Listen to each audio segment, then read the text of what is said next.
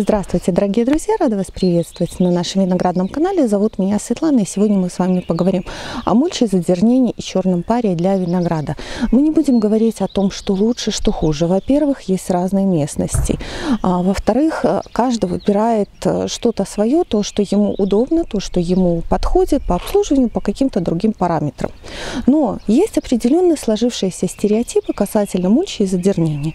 Я много раз слышала, что весной мульча это плохо, мульча э, как бы замедляет прогрев почвы, дерн то же самое. Вот лучше всего э, черный пар. Сегодня мы проведем с вами эксперимент. Значит, у меня вот такой термометр. Это термометр пищевой.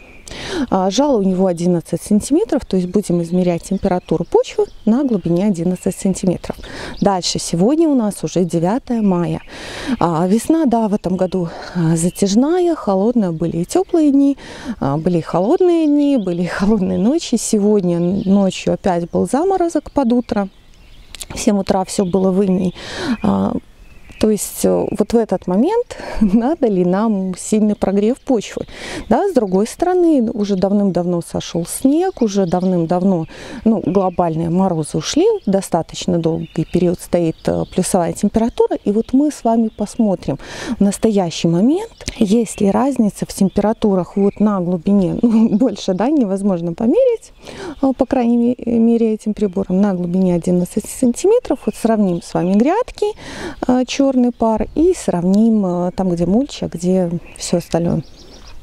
Наше первое место измерения. У меня здесь грядка с цветами и рядом трава. Здесь у нас очень солнечная сторона. Солнышко уже начинает все нагревать. И смотрим, что у нас на термометре. 7,7.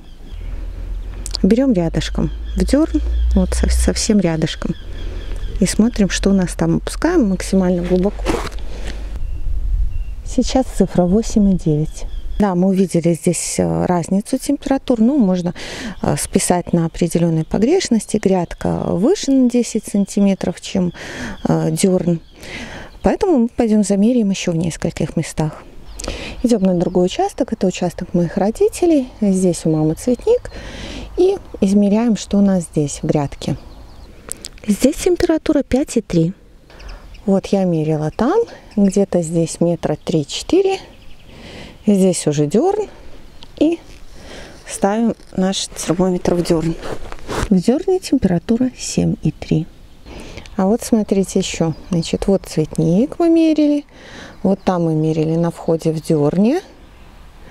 А вот здесь полоска как раз, где виноград, правда, молоденький. И все застелено листом старым.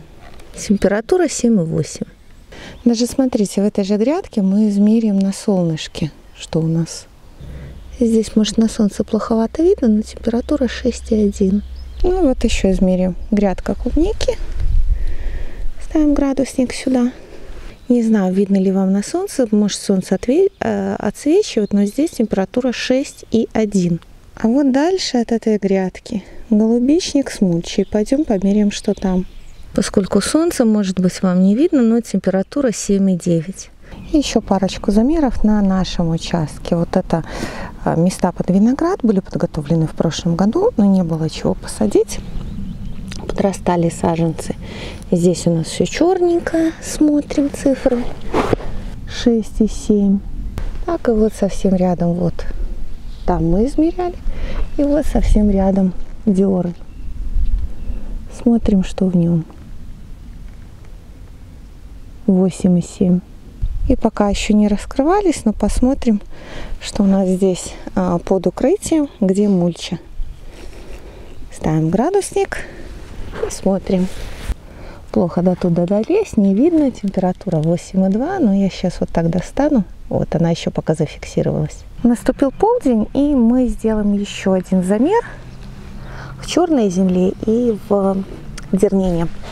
Сейчас дерн показывает Сейчас вот эта черная земля показывает 9,9. А вот рядом Диорн и цифра 9,5. То есть, да, черная земля, когда совсем светит солнце, чуть больше прогревается, но то, что было утром, я вам показывала. Она точно так же красиво остывает. Даже, казалось бы, на такой глубине, как 11 э, сантиметров. В итоге нашего маленького эксперимента получилось, что мульча и задернения оказывается не так плохи, а, как они говорят. Тем более, что в наших условиях нам не надо раньше времени прогревать почвы. Да, возможно, в какой-то момент ранней весной, а, там, где черный пар, где черная земля, а, она будет теплее. Но в тот момент нам это тепло абсолютно не нужно. Повторюсь, сегодня с утра еще был заморозок. У нас еще виноград под укрытием. Мы его э, начнем раскрывать завтра потому что завтра уже пойдет хорошая теплая ночь и хорошая погода.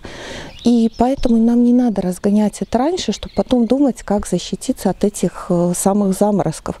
А вот в этот момент, когда уже хорошо, чтобы почва прогревалась, я вам показала, а, какие цифры получаются. А, в прошлом году я тоже снимала видео, почему мы выращиваем так, почему мы выращиваем в траве, в мульче. А, во-первых, для нас это удобно, скажем так, ленивый виноградник, поддерживать его в красивом, хорошем состоянии а, гораздо проще, но есть еще очень-очень важный момент. Когда у нас любое растение растет в траве, в дерне, либо замульчировано, вот эти вещи, они способствуют поддержанию биологического разнообразия, а, поддержанию жизни в почве. А, как только мы начинаем все это перерабатывать, как только мы начинаем все это рыхлить, а, мы иссушаем землю раз, мы убиваем того дождевого червяка, который нам помогает. Это на самом деле наш самый-самый лучший друг. И ну, для сравнения можете пойти вот копнуть землю, где дерн, и посчитать, сколько там, ну, в определенной даже там лопату выкопали одну, посмотри, сколько там будет дождевых червей. И на грядке, на грядке их, как правило, гораздо меньше. А повторюсь, это наши друзья. А, кроме дождевых червей, еще куча различных микроорганизмов, которые помогают нашим растениям, помогают им сопротивляться различным заболеваниям, а, помогают им поглощать питательные вещества. То есть это наши помощники наша задача а, поддерживать почву в здоровом состоянии. Как только мы начинаем вмешиваться, нарушаем этот баланс, ну, это не всегда хорошо.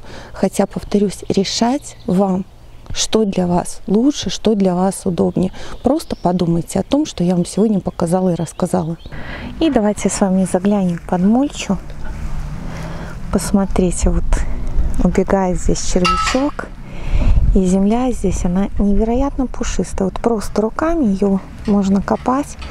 Она как пух. То есть вот такие вот вещи, как мульча, они кормят землю на месте, они позволяют поддерживать э, ее именно рыхлую воздушную структуру, что, конечно же, очень хорошо для растений. Даже если у вас там какие-то тяжелые глинистые почвы, то вот таким образом можно улучшить их структуру, потому что червячки роют землю, а, делают воздушные проходы. А, Все это, видите, рыхлое, такое питательное. В принципе, даже дюрн тоже улучшает структуру, потому что все равно корешки, которые ходят а, туда вглубь, они со временем отмирают, остаются воздушные каналы, Э, через которых проходит воздух. Там же живут микроорганизмы различные, там же живут червячки. В общем, здоровая почва. И, например, такой ученый, как э, Мозер Ленц. А, это австрийский ученый, он порядка, по-моему, 30 лет проводил эксперименты на виноградниках. Вот у него в книжке можно почитать, как он а, на одном участке пропалывал траву, на втором а, пропалывал немножко с весны, а потом оставлял э, под сорняками. И разница у виноградников была ну, очень существенная. Мы такие опыты не проводим, мы делаем так, как нам удобно, и у нас вот все растет либо в зерне, либо с мульчей. Ну, я с вами прощаюсь. Большое вам спасибо за просмотр. Подписывайтесь, ставьте лайки, пишите комментарии под видео, нажав кнопку «Еще» будет ссылка на каталог наших сортов винограда и мои контакты. До новых встреч!